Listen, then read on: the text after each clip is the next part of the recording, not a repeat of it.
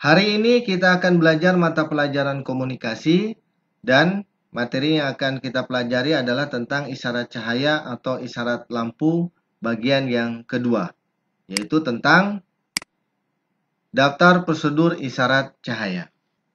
Prosedur yang pertama adalah isyarat panggilan umum atau panggilan kepada stasiun yang belum dikenal dengan menggunakan double alpha, double alpha, double alpha. Alpha morsenya satu pendek, satu panjang. Sehingga bila double alpha menjadi satu pendek, satu panjang, satu pendek, satu panjang. Isyarat panggilan umum ini dibuat adalah untuk menarik perhatian umum untuk semua kapal atau kapal tertentu yang tidak diketahui identitasnya atau tanda panggilannya. Dilakukan secara terus-menerus sampai memperoleh jawaban atau balasan dari stasiun kapal yang dimaksudkan. Jadi isyarat panggilan ini dilakukan secara terus-menerus. Pendek panjang, pendek panjang, hingga nanti mendapatkan jawaban dari kapal yang lain. Prosedur yang kedua adalah jawaban dari panggilan umum, yaitu isyarat tenggo 6 kali. Morse untuk tenggo adalah satu kali panjang, sehingga Isyarat tenggok 6 kali menjadi panjang 6 kali. Isyarat tenggok 6 kali ini dibuat untuk membalas panggilan umum dan disampaikan terus-menerus sampai kapal si pengirim berhenti mengirim panggilannya. Selanjutnya, pengiriman berita diawali dengan tanda delta echo. Delta morsenya satu kali panjang dan dua kali pendek, dan echo satu kali pendek. Kemudian diikuti oleh nama panggilan kapal si pengirimnya.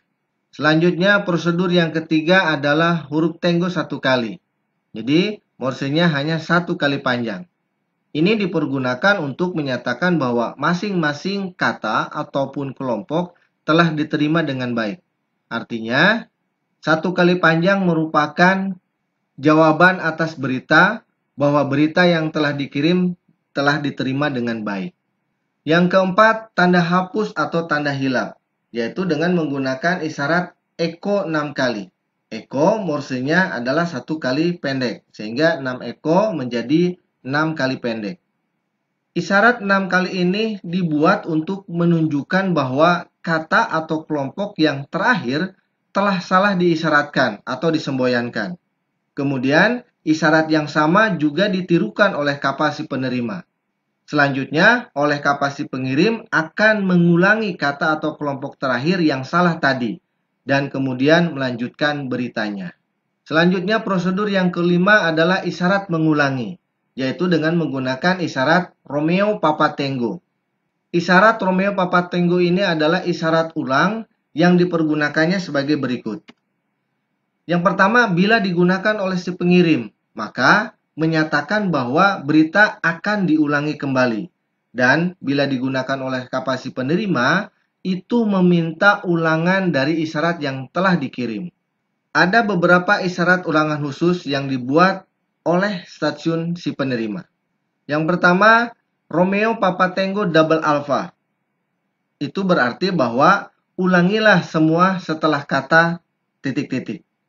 Maka jika dibuat menjadi Romeo Papa Tango Double Alpha kapal, berarti ulangilah semua setelah kata kapal. Yang kedua ada Romeo Papa Tango Alpha Bravo. Itu berarti ulangilah semua sebelum kata titik-titik. Yang ketiga ada Romeo Papa Tango Whiskey Alpha yang berarti ulangilah semua setelah kelompok. Yang keempat ada Romeo Papa Tango Whiskey Bravo. Berarti ulangilah semua sebelum kelompok. Dan ada Romeo Papa Tango Bravo November. Berarti ulangilah semua kata antara titik-titik dan titik-titik. Prosedur yang keenam yaitu isyarat Oscar Kilo. Dipergunakan jika penerimaan ulangan sudah benar. Jadi, Isyarat Oscar Kilo ini dipergunakan untuk menjawab isyarat ulangan telah diterima dan telah dipahami. Prosedur yang ketujuh adalah isyarat Alfa Romeo. Isyarat Alfa Romeo dipergunakan dalam semua hal yang menunjukkan bahwa berakhirnya suatu semboyan atau pengiriman berita. yang dilakukan oleh kapal si pengirim dan dijawab oleh kapal si penerima dengan isyarat Romeo yang artinya saya telah menerima isyarat Anda yang terakhir. Kemudian prosedur yang kedelapan adalah isyarat Charlie Sierra. Bila stasiun pengirim memberikan isyarat Charlie Sierra adalah untuk menanyakan nama atau tanda panggilan dari kapal si penerima. Jadi isyarat Charlie Sierra ini adalah dipergunakan untuk menanyakan nama atau tanda panggilan dari kapal si penerima. Selanjutnya, prosedur yang kesembilan adalah isyarat tunggu. Isyarat tunggu atau isyarat Alfa Sierra dipergunakan sebagai berikut. Yang pertama, jika dia hanya berdiri sendiri atau berakhirnya suatu semboyan, maka stasiun lain harus menunggu untuk hubungan berikutnya. Jadi, jika Alpha Sierra berdiri sendiri, maka artinya stasiun yang lain harus menunggu. Kemudian, jika diselipkan di antara kelompok-kelompok, maka isyarat ini berfungsi sebagai pemisah antara kelompok-kelompok diperuntukkan supaya menghindari terjadinya kekeliruan. Untuk lebih jelas, kita simak tampilan berikut ini.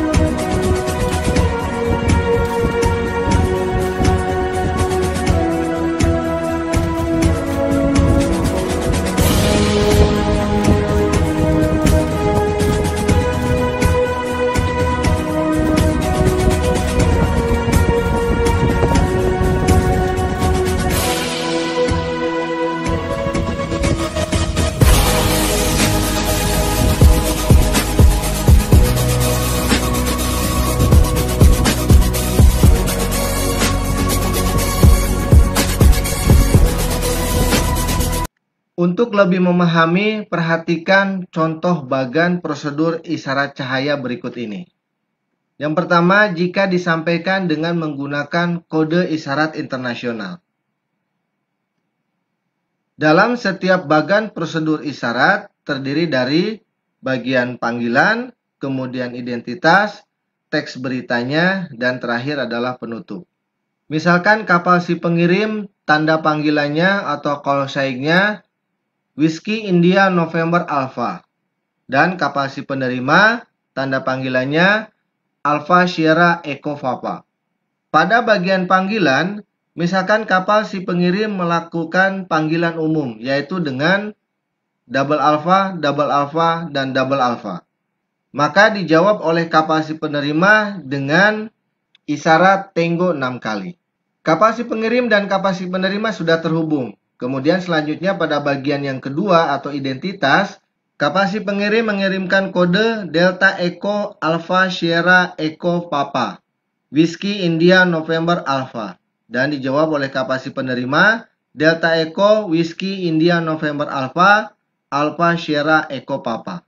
Selanjutnya pada bagian yang ketiga, teks berita, kapal si pengirim mengirimkan kode Yankee Uniform. Ingat, Yankee Uniform itu berarti bahwa berita yang akan dikirim sesuai dengan isyarat kode internasional. Kapasi penerima menjawab dengan Tango. Selanjutnya kapasi pengirim mengirimkan berita Golf. Ingat, Golf artinya saya membutuhkan seorang pandu. Dijawab oleh kapasi penerima dengan Tango. Selanjutnya, kapasi pengirim mengirimkan hotel, berarti di kapal ada seorang pandu, dijawab oleh kapasi penerima dengan Tango. Kemudian kapasi pengirim mengirimkan kode echo, saya merubah haluan ke kanan, dan dijawab oleh kapasi penerima dengan Tango. Selanjutnya bagian yang terakhir yaitu penutup. Kapasi pengirim mengirimkan kode Alfa Romeo dan dijawab oleh kapasi penerima dengan Romeo. Berarti pengiriman berita telah diakhiri. Contoh yang kedua, jika disampaikan dengan isyarat bahasa biasa.